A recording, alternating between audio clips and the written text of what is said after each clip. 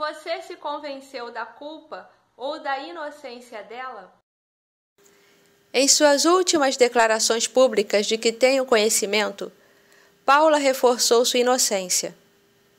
Sua mãe, cerca de 15 meses após o julgamento, desmentiu publicamente tal versão, afirmando que ela, de fato, esteve no local do crime junto a Guilherme de Pádua.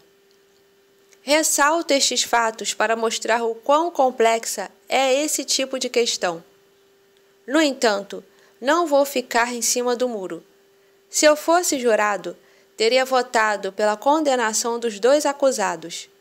Mas reconheço que é uma questão subjetiva, tanto que no julgamento da Paula o resultado do júri foi apertadíssimo 4 a 3. Apenas um voto selara o seu destino.